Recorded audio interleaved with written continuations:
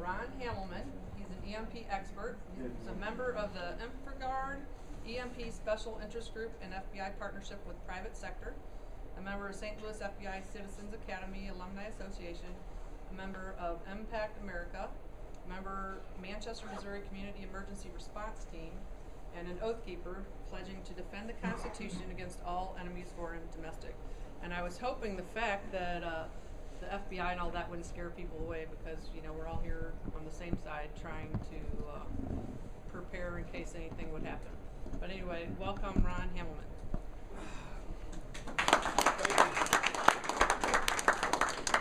Thank you. I'm gonna pass some handouts here that I'm gonna be referring to throughout my presentation. No. Um, well, I'm Ron Hammelman. Actually, I'm a resident out here, far from here, about a mile and a half. Been uh, an oath keeper for a little over a year. Um, I firmly believe in defending our Constitution against all enemies, foreign and domestic, and to support the uh, the ten rules of uh, um, of uh, not obeying various orders, as you know. So, my background, uh, give you a little information here. Uh, by day, I am a professional uh, registered investment advisor and corporate retirement plan specialist with a, a major uh, banking, investment banking group in the country. Um, and by evening, I assist a couple task force groups that assist the uh, FBI in monitoring threats to our infrastructure for the country. Um, I got involved with the St. Louis uh, Citizens Academy in 2007, and that organization is basically there comprised of uh, leaders in the community that assist and support the mission of the FBI. Some of the things we've done is uh, fingerprinting children, providing ID kits, and uh, assisting the FBI in some of their uh, projects and events. Uh, through the Citizens Academy, I got involved with InfraGard, which is uh, a, a alliance with the corporate sector and the FBI to help share information, intelligence uh, that uh, helps protect our nation's infrastructure. And there's about 14 or 18 different categories, uh, including where I'm mainly connected with is the banking and finance area. So assisting with cyber information, cyber attack, uh, cyber crime, uh, areas like that is where we've helped the, the banking area with monitoring these kind of threats. And uh, there's the nation's dams, the water supplies, the medical, the agriculture, all these areas need to be defended. And uh, there are a lot of in, uh, folks that devote their personal time and try to uh, help share information.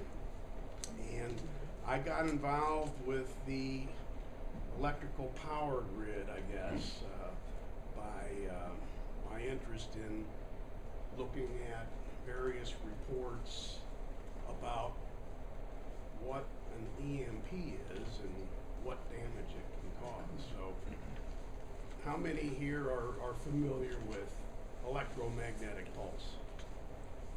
Okay, the word has gotten out because I can tell you back in 2007, 2008, 95% of the country no idea about what an EMP is. Now, how many realize what kind of damage can be done from electromagnetic pulse?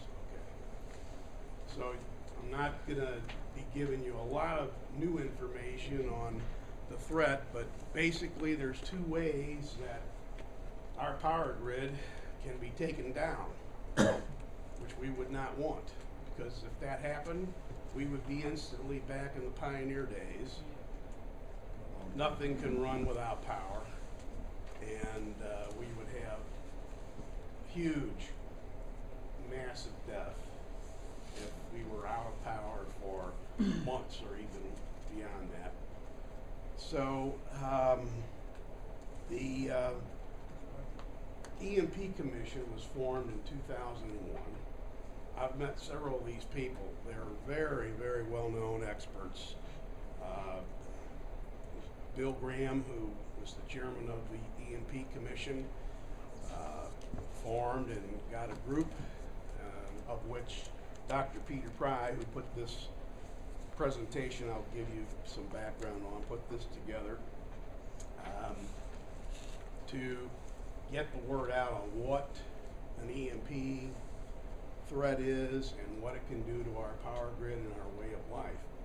The commission reported to Congress in 2008, and through that report, which you can get online, um, they summarized the threat, the expense, all the damage that would be caused if our power grid was uh, brought down. Through other reports, I've just uh, I've seen studies about the impact of electromagnetic pulse on the uh, area of Richmond, Virginia, Washington, D.C. That 500 mile radius uh, that would encompass huge amount of, uh, we're talking billions of dollars of damage if uh, an EMP were set off in that eastern area and massive death. So groups of people got together and started promoting uh, the education, especially with our politicians, about the threat of EMP and the damage that it can be done. The um, special interest group that I joined with InfraGard uh, had a lot of help from uh, Dr. Peter Vincent Pry and a lot of other contacts that he knows that with, formerly with the NSA and the CIA. Um,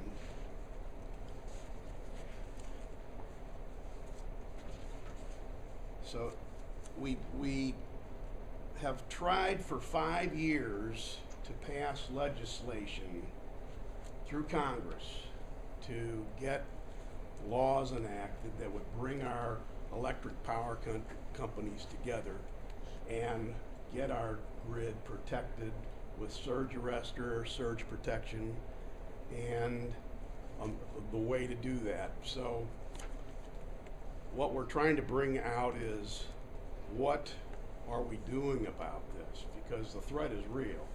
It is a clear and present danger. The um, laws that we've tried to have passed starting in 2010, the GRID Act was brought out. Uh, the House of Representatives unanimously passed that legislation, which would have funded the power companies and help get a plan in place to get all the necessary backup equipment and and plans to um, um, bring emergency preparedness and be able to withstand an EMP attack. The GRID Act narrowly passed, or narrowly was not passed, excuse me, uh, in 2010. One sitting senator did not pass that bill. Had that senator passed the bill, we would be perfectly fine right now. We would have things in place that would ha- have our grid protected.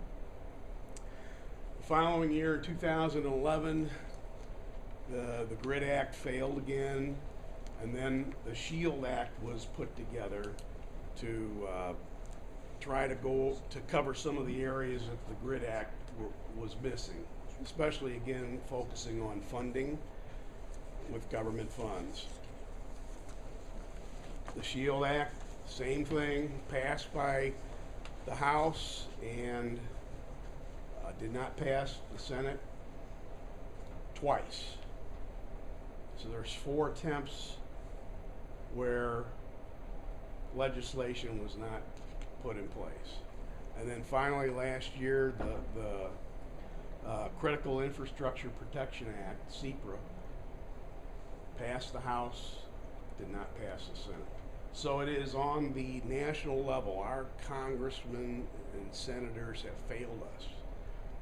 We're not getting anywhere to bring protection to the grid. So with that, Dr. Pry put together this initiative to run by the states. And uh, he is, uh, besides the director of the uh, task force on national and homeland security, he's also uh, served with the uh, House Armed Services Committee and CIA. But he has put together a very, I think, excellent white paper that I presented to Governor Nixon, which has fallen on deaf ears. Over a year ago, I presented this and showed what other states are doing. The state of Maine, for instance, they did pass resolutions and bills to protect their state, their, their own electric grid against the uh, EMP threat.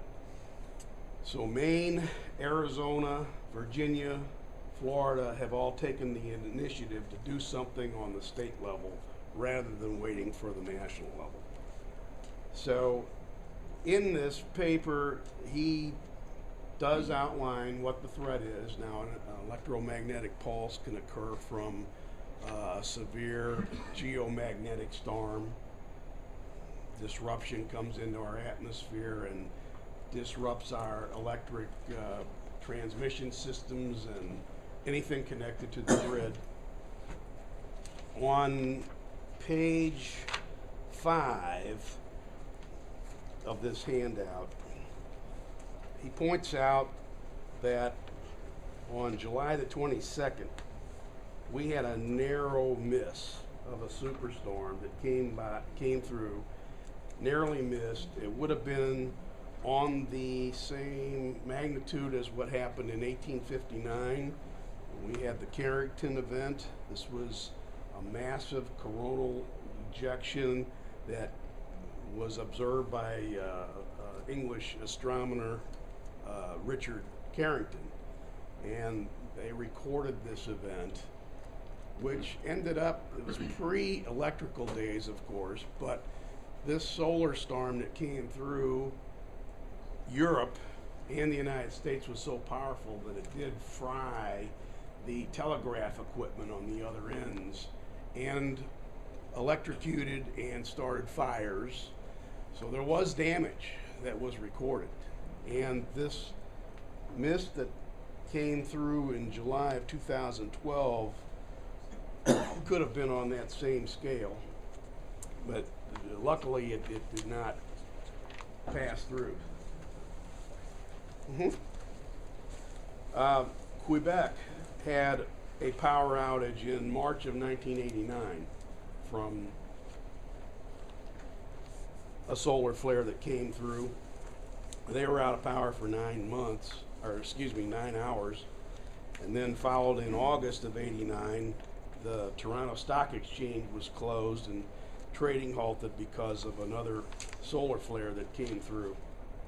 So you have the natural geomagnetic storms, and then the other way is, of course, from a high altitude nuclear detonation. Um, now we know, of course, Russia and China have this capability of launching missiles over directly central United States and causing an EMP attack. Don't discount North Korea and Iran because both of those countries do have access to nuclear warheads. I don't care what anybody says, Iran does. They would not launch an attack like Russia or China would. It would be by surprise, and there's two ways they could easily do this. All you simply need to do is mount a Scud missile on a rust bucket cargo ship mounted with nuclear warheads, parked 30 miles off our coast. And I've seen threats, plans of 10 simultaneous launches, five on each coast, two down in the Gulf, that could actually go undetected. We have no defense against vertical launches. And if you set 10 of these off at one time, it would collapse the entire grid. So that's one way that could be done from just launching from a cargo ship. Iran has already demonstrated their capability of launching missiles off of cargo ships. And of course, North Korea, they have their submarine fleets that could do that as well. Uh, there is also another stealthy way that uh, that missiles could be smuggled into the United States, and that's through the Russia um, Club K missile container system. Has anybody heard of that? Freight containers, four missile silos built inside these things. We don't inspect every container that comes into the country. China's in charge of one of our ports over uh, in uh, uh, California. So this is a very easy way that nuclear warheads could be smuggled in just through containers, shipping containers. Uh, but you can Google that, and I think Dr. Pry points that out as well. Um, the other thing too that is a danger is that Iran and North Korea both have satellites orbiting over our country right now. On page six, Dr. Pry shows the orbital passes of a North Korean KMS 3 2 satellite to April 2013. And you can see these passes that come through the uh, eastern part of the country. Who's to say that one of these is not armed with a, a nuclear device? And all they have to do is just bring it down and set it off over our country. Iran launched satellites. They've got two up there, and so does North Korea.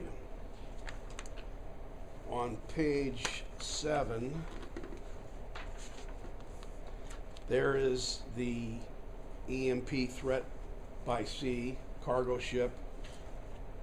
Actually, North Korea did have uh, a couple of missiles smuggled under tons of sugar.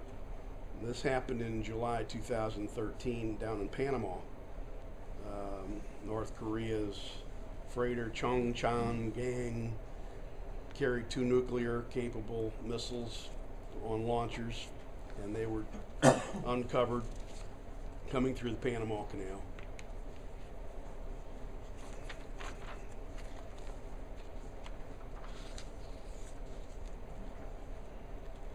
Besides the uh, EMP through nuclear detonation as a threat, you've also got physical sabotage and you have cyber. The uh, sabotage was cited here.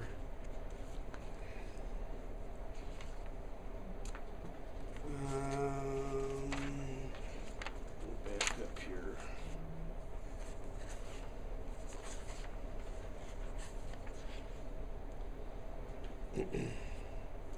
Yeah, in April of 2013, there was a commando-style sniper group that uh, actually attacked the Met Metcalf uh, in San Jose, California, transformer substation. And I don't know if any of you remember that, but a small team did know exactly what they were doing, and they they they hit cable equipment that knocked out the power in that area in the uh, Silicon Valley.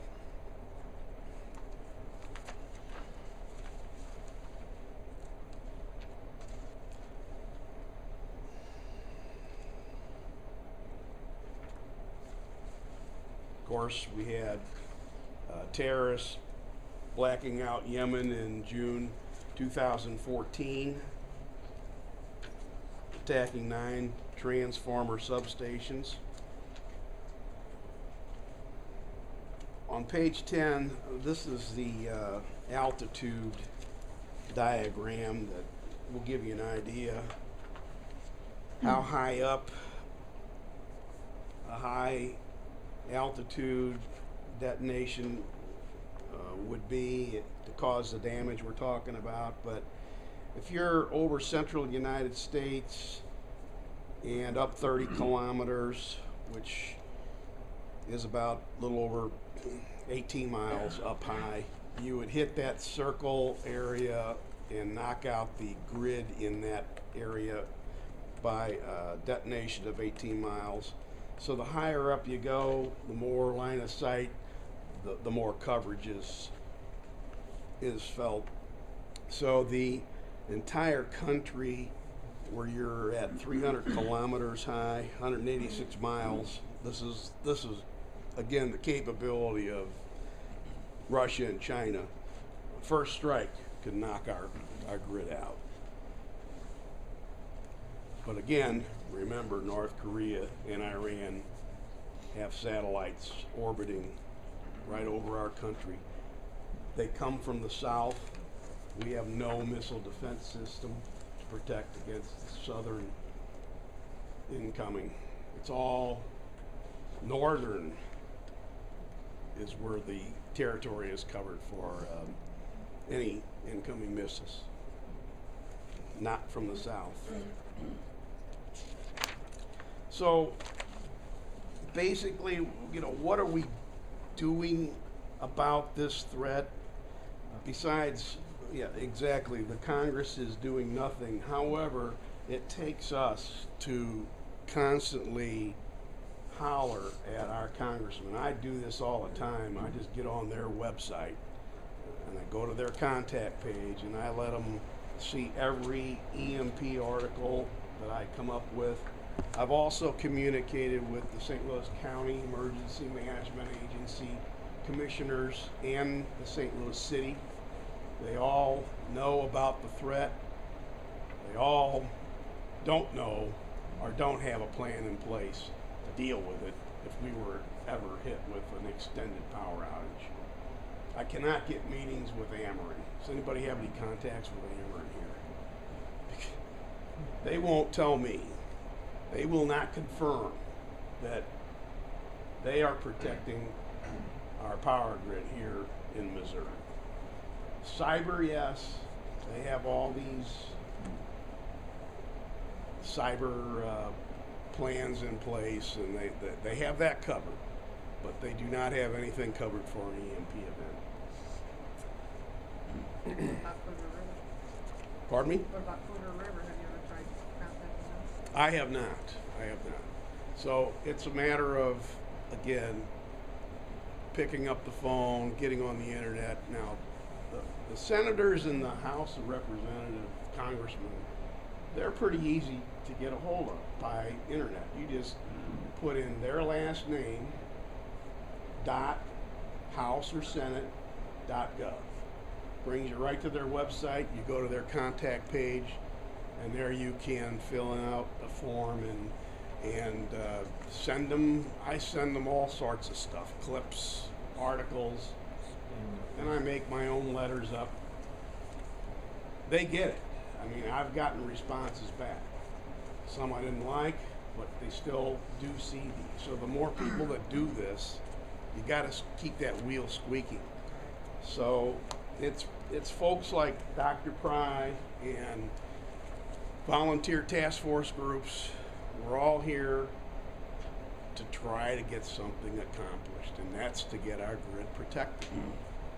Um, it takes a little money, but if Ameren had to pass, or any electric company had to pass on a one-time surcharge Five dollars per year per family, one time boom. It's only a two billion dollar, I say two billion, not trillion, two billion dollar fix for the entire country. Three hundred million for the main three hundred transformers to get rigged, outfitted with surge arrestor protection.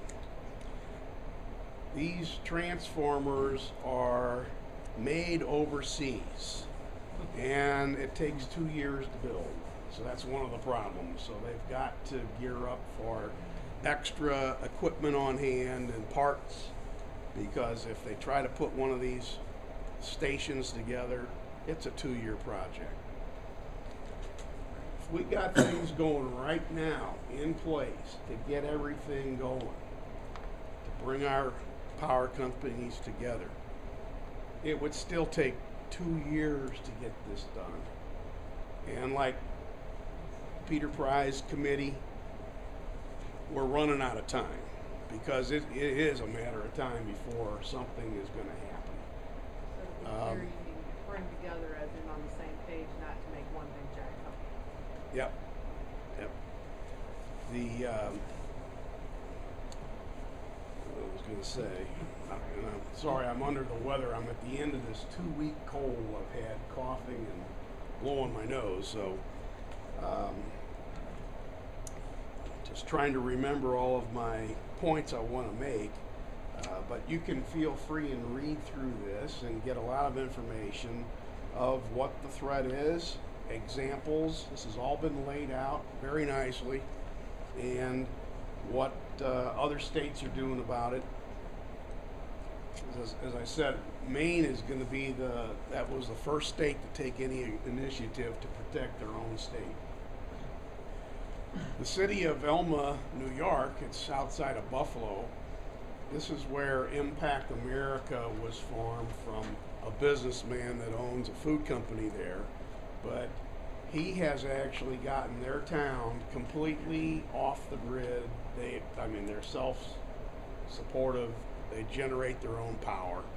They all take classes on how to can, how to farm, how to grow, how to defend themselves. Uh, this is probably the most protected city in the country against any kind of a natural disaster.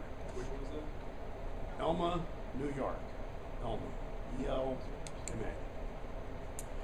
A. Um, yeah. Uh, Hen- Henry Schwartz is the individual. By the way, uh, a lot of the information I have gotten came from an organization called EMPact America. And that was formed and started by this Henry Schwartz, and then he knows a lot of high up people in the government agencies, and he recruited folks like Dr. Pry to put together information on educating everybody about EMP. And if you go to empactamerica.com, now behind tab two, I have uh, just a little page on their mission. There are a lot of videos and reports that you can pull off of that website that explain the EMP threat and what people are doing to help um, get our grid protected. Yes.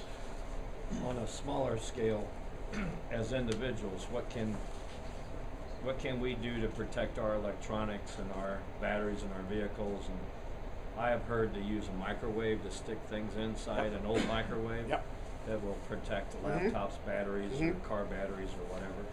Well, a Faraday cage is a term you've probably heard of, Yes. and, and they're quite easy to make. A real simple, inexpensive makeshift one is you get an aluminum trash can and you put a, a plastic liner in, keep the lid very tightly sealed, but you can put things inside that that trash can. That will help shield against uh, EMP. Microwave ovens, another good source. You can put your cell phones or laptops or anything in a microwave and that'll shield. Should those, should those be grounded or not? Because I've heard both. I've heard both. Yeah. I've heard some no. What do you think? I, Are you gonna ground yours? mine is not grounded. All right, okay. Is, is there Your what sufficient not warning grounded, time? My, my Faraday cage. Is there sufficient warning time to get stuff like that in line? Okay, on, if we have a solar flare eruption coming from the sun, three days is what they say, we'll have a heads up. Did we get any warning about what came through just in July of 2012? No, none, zero. Heard of it. So, yeah, first, a lot of people heard of that. We got no, nothing from the government. Now, Missouri, the state of Missouri, uh, State Emergency Management Agency, claims that they would notify our city of St. Louis and county emergency management officials. Well, they never heard anything about that potential threat that came through. So, Um, How will this affect our automobiles, uh, like both short-term and long-term? Well, the EMP emitted from a solar flare is less damaging, not as severe as a nuclear detonation. So I have seen reports and studies um, that basically your car batteries, uh, your, your if, if it's your your dashboard is so con- uh, made up of electrical components, they would all be fried if your car is on. If your car is not, or parked under a garage, you might be okay. Um, but if you're actually in traffic, that's where I've seen everything stops. And it's permanent, it'll be permanent. And mean, it'll no, fry, it'll be fried. Well, they, they, they, they, it's been hit and miss. Some of the studies show that the cars were rendered uh, useless, but after several hours, could actually start the ignitions up. So we don't know. So we don't know, right? Yeah, don't know. Familiar with the book called One Second After? Well, and I, I got, I got, I was involved for a couple of years, daily or weekly conference calls with these high experts, including uh, Bill Graham, or not Bill Graham, uh, Forstchen, uh, yeah, uh, Bob Forstchen, and yeah, he wrote that book, giving an, an idea of what could happen after uh, our country's hit with an EMP, and he's very interesting to listen to. So he's got a good website that gives a lot of emergency preparedness tips. Now you ask what can we do? That's one thing I would definitely be doing is preparing, like you would for any disaster. You've got to have your emergency preparedness kits together. I've got one in, in all of our cars, and um, you know your supply of food, long-term shelf life, water or access to, purification methods. It's really all you can do. Um, and, and try to be able to survive long enough until help comes from the outside. And that's what I would not be counting on. So besides trying to get this fixed, it's have a backup plan B is all we can do. I have a question. Yep. Um, sorry. So go ahead. Well, hon. you were talking about nationally surge protectors, so in practical purposes, we're gonna be using our computers and our cell phones, and we're not gonna be putting them in a Faraday cage or a microwave or whatever. But like our home, is there surge protection or things that we can do for our home that would be individual level versus citywide level of protection?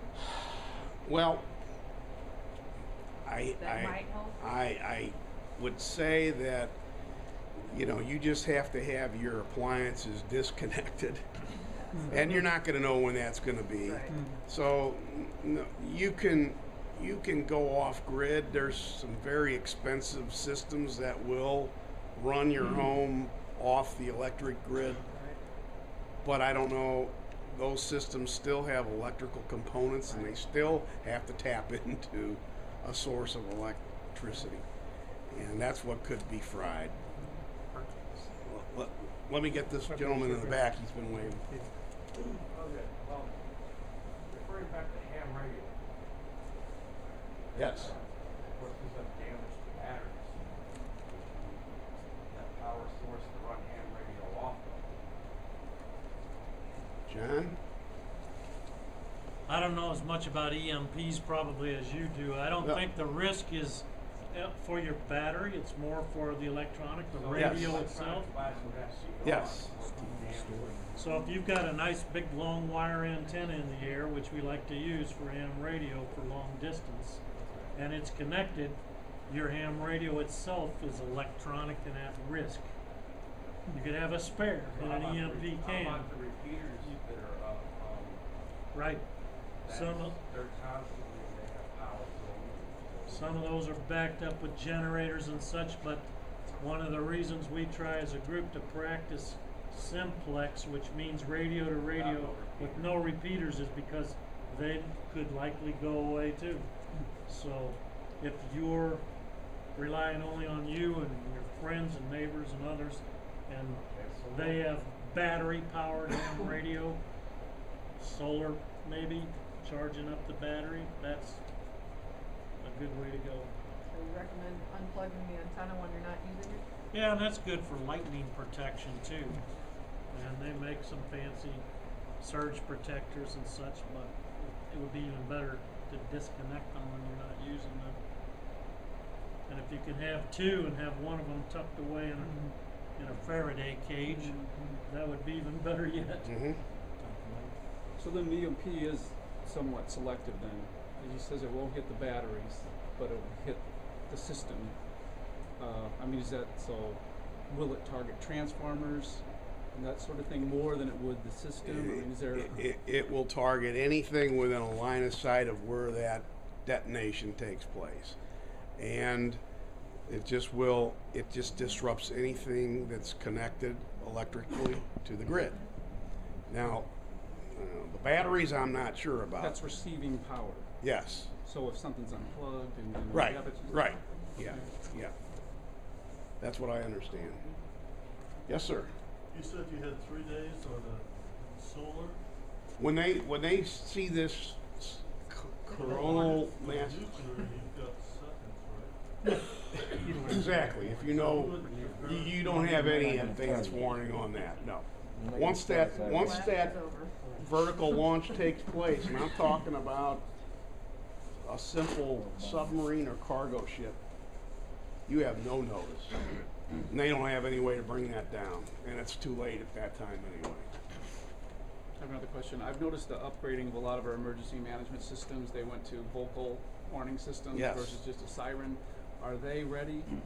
Are they, or were they uh, vulnerable to the same thing, or do you know anything about that? Well, the, I mean, the systems are connected to power, so They have if solar, you know know this deton- this this surge that comes through, so it's a nanosecond. It's so quick, you can't stop it, and it goes through. It travels through any lines that are out there, electrical lines, above or below ground, and uh, there there just is no warning. There's no way, and and yeah, that that would be affected. They're, they would not be able to transmit if if. Uh, 'Cause I noticed they're all kind of unified now because you can hear them going on. yeah, I mean those are those are storm warning systems. They're for tornadoes and hurricanes and that sort of thing. It's not made to withstand an EMP attack. Yes. Are there some common myths that people believe that you would like to point out? Myths. Just basically misconceptions about EMPs. Well, Things the that are I think there there i- there was. I'd say again, this education process was started seven years ago, and more and more people are aware. The problem we've had is the politicians believing that an EMP won't happen. Very small likelihood that we would have that happen as an event. That's one myth because that's wrong. It can happen now. It That's can going to happen twice in life. Yeah, yeah. So, uh, you know, other than that, not it- believing that it can happen.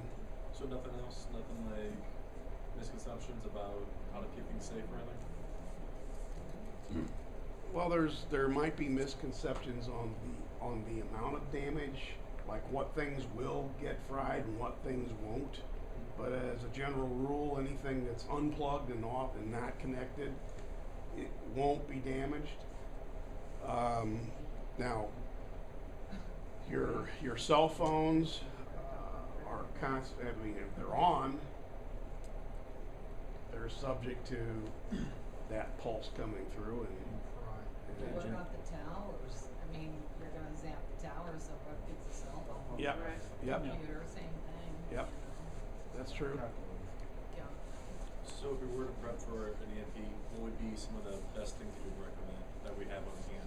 What do we double up on or have just safe? Well- Besides food and water, you know. Yeah, you, you, But you've what's some of gotta the main, main things you, we may wanna have? Besides the normal preppers. think of anything, if you're a camper, I mean, think of anything that you can use.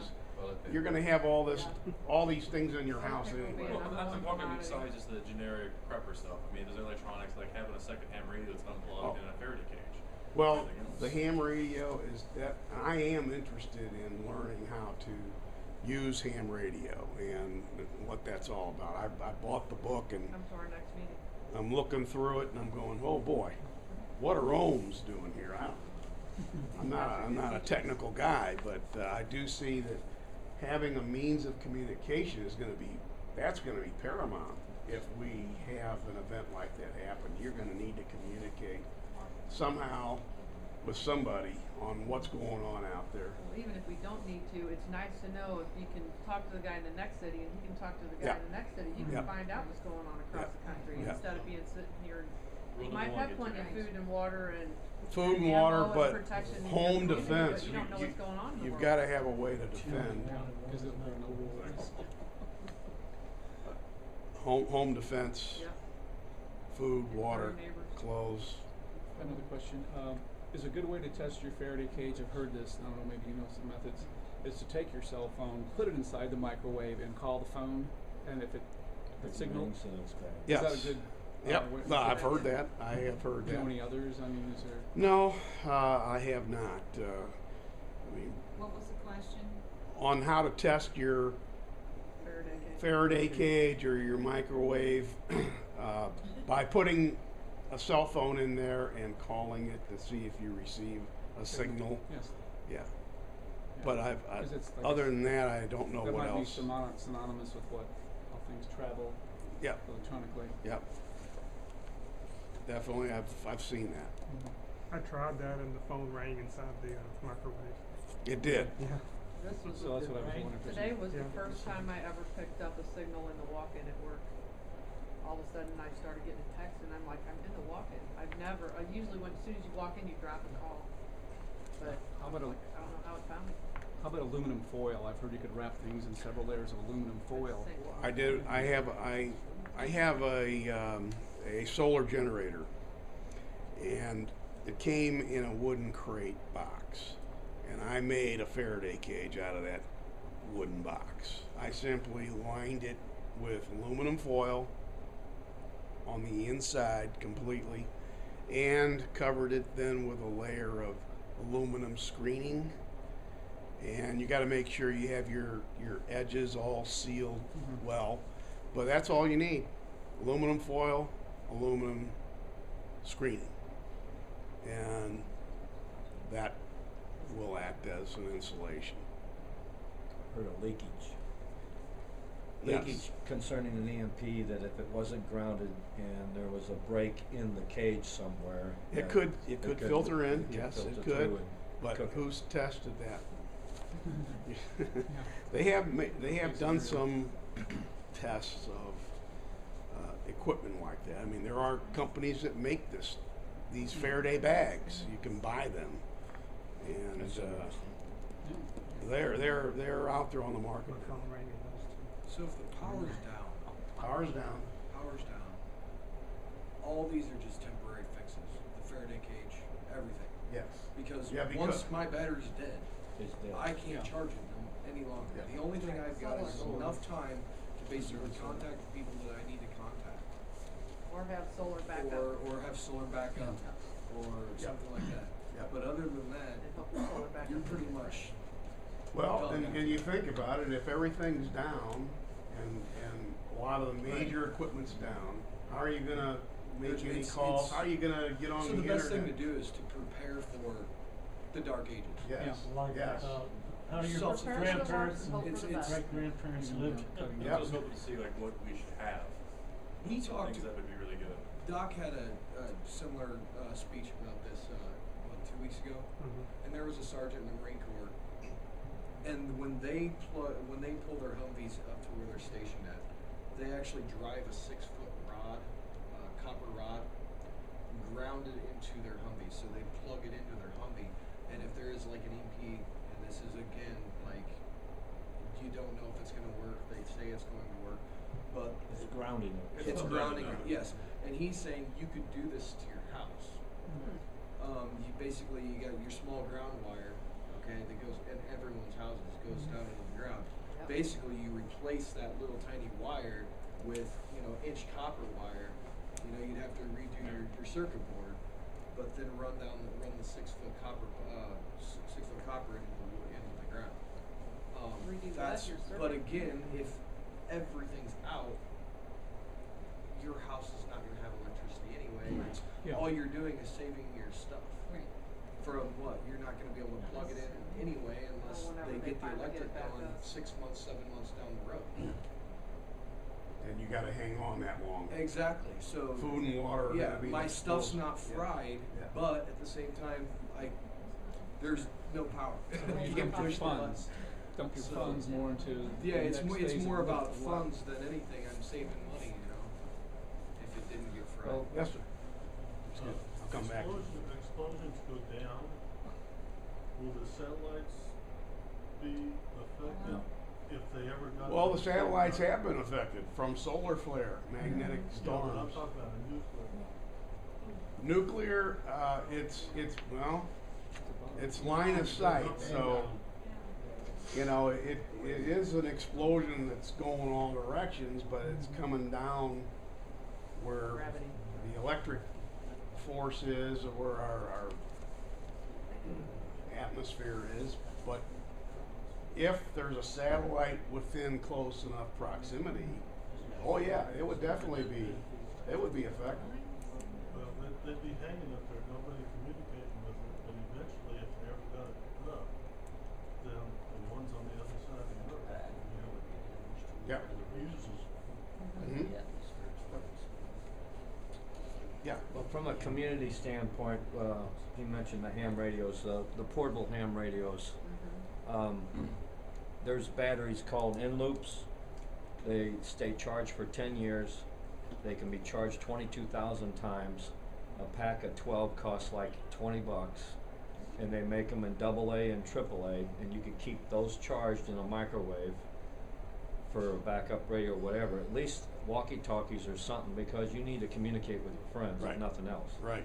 Um, Batteries you get a So solar- that is a good point and you about get a that. solar power charger and have that for standby, whatever, but you will need to communicate. I've seen those little camp stoves Can where you they, you, please you start your say that fire again? inside the camp stove, and the heat actually generates enough power to uh, charge your cell phone. So I don't know why I couldn't And there, and, and there was a Kickstarter company that made a saltwater charger or a unit that could be laid in a babbling brook and it actually would charge a, a laptop and a cell phone. Mhm. So there are some things you could have because you really don't want to go back to the dark ages That's if right. you can, Yeah. as long as you can. Yeah. 'cause So what did you say that was a battery called in loop? Eneloop, uh, Panasonic makes them, Sanyo makes them, uh, a lot of companies make them, and they're on Amazon. I have a solar powered backpack that has a battery that basically is charged by the solar panel or AC DC. And uh, it, it'll charge laptops, my cell phones, any electrical devices.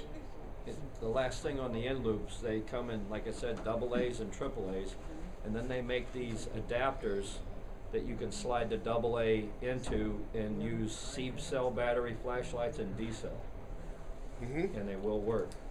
That's a good point. So, because you need flashlights too. So, So yeah, anything emergency gear, common sense. There's so- so many lists you can access on the internet for emergency preparedness to get run down everything that you gotta have on hand. And I would especially encourage you to have that kit in your car trunk, in your family's car trunk. If you're ever out and we are hit with an EMP event, you're gonna need to get home somehow, and you've gotta have your kit with you to to get by. That's And save your hand tools, right? yeah, yeah.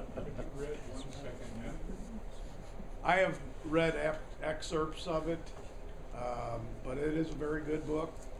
Bill Forstchen. Is it, is it realistic what, what we're gonna look like if it happens? Oh yeah, it's it's very realistic. Yes, it is. I mean, his his scenario shows how a community comes together and what they have to do to work together and survive.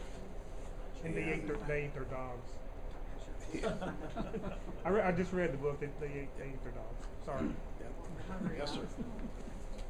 Realistically, if you live in a, uh, Better each other, yeah. you know, in a area of, uh, or suburban St. Louis, your chances on a five, four watt walkie would be a lot better than out where I live. Unfortunately, you live farther out, and if you're looking at a handheld radio, your antenna and wattage is gonna be important to make uh, up. So you're looking at a five watt walkie, um, in Catawissa, Robertsville, you're not gonna go far, especially if you got a short antenna. Uh, they make other antennas to put on these radios that are longer, so you can get more range. Um, some of your mobiles that actually go in a vehicle, you run on a twelve volt battery, some of them are pushing forty-five watts or better on these, uh, you can talk that on simplex, you have a much better chance, uh, contacting someone over more wattage. But if you're looking at a four or five watt walkie, and you're out in the country, uh, hopefully your neighbor down the road, you might be able to talk to him. Maybe, yeah. You know, hills and, uh, depends on your, uh, terrain as well. Uh, talking simplex, I mean, how far you're gonna push out. I just, I just wanted to kind of throw that out, five watt walkie, um, on simplex, um, is kinda iffy if you're gonna get someone, depending on what area you live in. Mhm. And and the terrain. Yeah. You've got a lot of trees, a lot of hills. Um, versus Illinois being flat, you're gonna go farther in Illinois than you are out where I live, 'cause I live in Yep. hills. So you might wanna look into different antenna options and a way to get more wattage out of that. I know, um, you know, I know there's limits to how many watts you're supposed to run, and Doc's more educated on that than I am, but, uh, could be as simple as, uh, the temp fix is, uh, figuring out how to hook that up if you don't wanna buy a radio that has forty-five watts, hook it up to a bigger. Mhm. So you can, you'd have to use a bigger antenna and, uh, uh, and push out on, on a Yeah. simplex. If I, you know, try to contact someone where I live with a five watt walkie, um, Doc is probably the only one that would probably hear. So we'll press that button. Yeah. But other than that, uh, and I wouldn't wanna be in a suburban or a city area if that happened. So I'm just, I figured I'd throw it out. Good point. Yes, sir. predictions followed up after EMP, like, uh, let's say China or Russia, or do you think they would just let us attack and kill us, all themselves? Okay. So it sounds like a lot of damage by one of these I- I- would they follow up at all, or think? Well, for one, I know China and Russia are not our best friends. And I don't think that they would intentionally strike first here and cause an EMP and crash our grid. I think that would happen with either North Korea or Iran first before I would worry about Russia and China. There's too much trade that we have between us that uh, I just I just don't see them trying to upset the apple cart. But who knows? Anything can happen. Um, it's the rogue states, the rogue groups that I worry about that have no conscience. They do this to us in a minute. And you also know that there are terrorist cells in our country. We have 35 terrorist training camps operating freely in our country. Now, some of the things the FBI I get pissed about because they do nothing. Maybe their hands are tied, I don't know. But they do nothing to bring these groups under control. I get the hell out of our country. I don't I just don't get it. But they use our laws, they hide behind our laws mm-hmm. to operate. And if there's ever an EMP attack on our country, well, you can just imagine what these terrorist cell groups are going to do. Mm-hmm. They're just waiting for that day. And that's why I preach home defense and Second Amendment. Amen, brother. You know. Well, they say in World our- War II, Japan didn't attack us because we were a well-armed country. That, that's right. And I do worry about where groups are trying to take us. And. I'm not going to let it happen, just like I know you won't either. But it's only so much we can do. I'd like to say something about the website. We have uh, videos on the website, which this one will be posted. Um, Dan Hyatt on our website, if you want to know about prepping, he was in California when the grid went down for two weeks. So he gave us a, a short presentation of what really mattered in those two weeks. Oh, yeah. They, he, the neighbors had a pool, so they survived off the neighbor's pool water. But uh, he got, gave a lot of helpful hints of what you can do to prepare or what you can have to pass off to other people just to keep them off your back or to help somebody. So that, that's a good thing to do. Do you remember the ship that was blacked out in the ocean? Do you remember where that was? One of our ships, one of our best battleships. It was over in the Last middle. April or the April before? Uh, it was a year or two back. They had a, uh, Russian fighter jet do a flyby, and they got very close to a U.S. naval ship that was supposed to be one of the most sophisticated ships in the Navy. And they completely and utterly blacked them out. Dead in the They water. were completely Couldn't dead in the water. Couldn't communicate. Yep. And there were several Navy personnel on that ship who resigned, officers. They resigned Yeah. their commissions. And when it Said they came don't want back no up, part of this. they Mhm. went immediately into port. Scared the hell out of them. Yep. So, I don't know if that was EMT or what they were doing to block them out. Well, Russia and Temporary. China both have these EMP weapons that are designed to do just that. Right. Fly by and hit a burst Yeah, and te- then That's a test, is what knock, can happen. knock out. And that ship- But- So if you have your best military that's dead in the water, I mean, the military has been hardened for a long time, but there's still weaknesses there. Yeah. Because there's new technologies that All come the out. time. Yep. Yep. Yes, ma'am. So if I heard you correctly at the beginning of your talk, it's mostly the senators that are dragging their feet? For legislation, the GRID Act, the SHIELD Act, the Critical Infrastructure Protection Act, five attempts, all passed the House. The House Energy Committee has to get the bill going. And once they bring it out of committee, they bring it to a House vote. In every case, they have passed. They have done their job. They have passed those bills. Like last year, the House passed the Critical Infrastructure Protection Act. The Senate, it didn't even get out of committee. It died. Now, here's the problem. Every time, it's always at the end of the year, it's always in November and December. They never get it. They don't do anything to get this out and to a vote. Then you got to start over the process entirely every year. So this year, I don't know where it is, but there is um, a website that you can track these bills and find out where they are in process. But senators like Senator uh, Trent Frank out of uh, Arizona, I mean, he gets it. He sponsors these bills, but it's frankly running out of steam. Instead of attacking it on the national, bring it down to the state.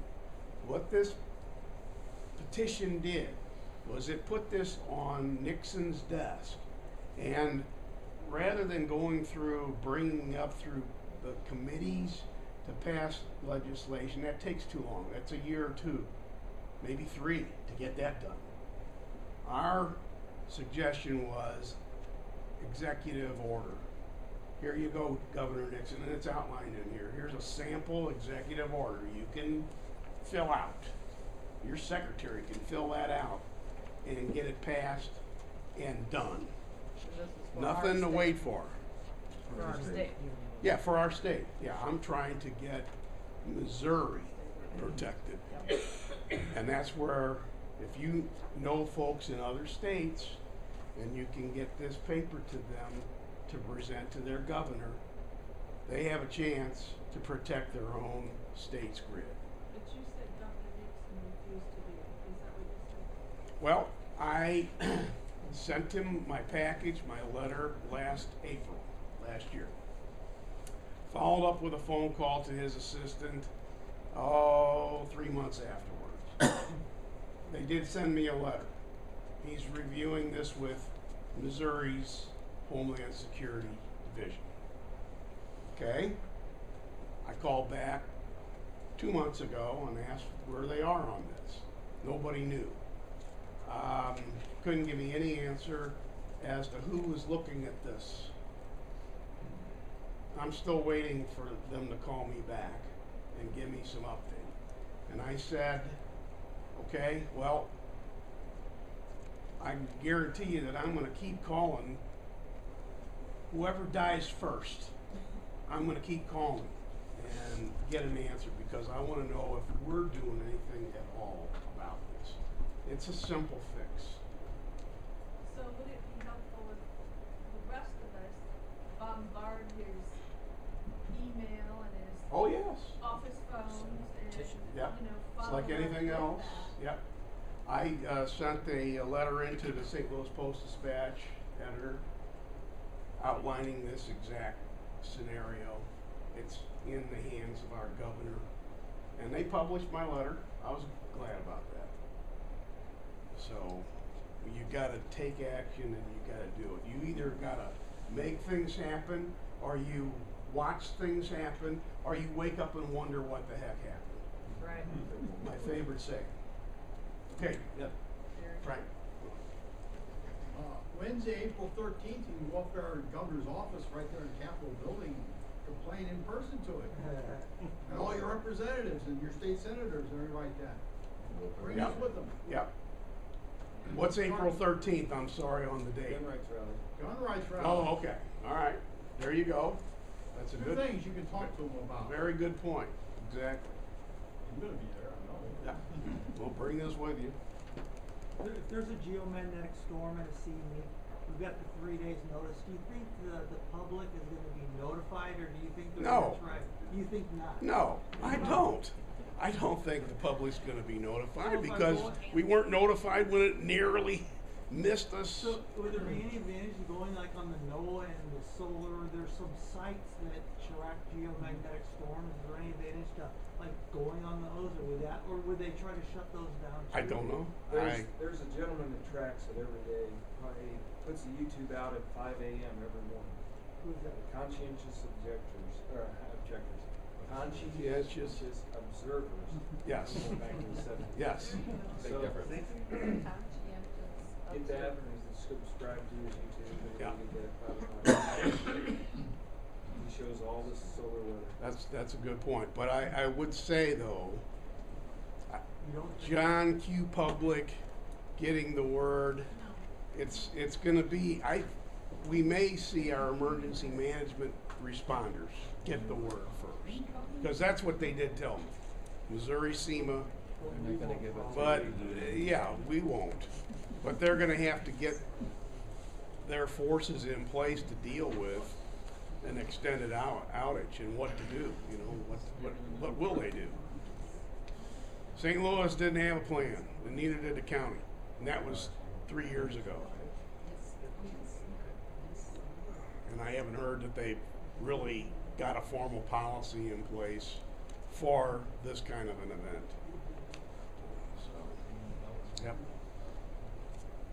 Okay, thank you for your time, and I hope you. came away with a few bits of good information, and uh, keep this handy, and we'll, we'll keep plugging away. I hope we do get Missouri protected.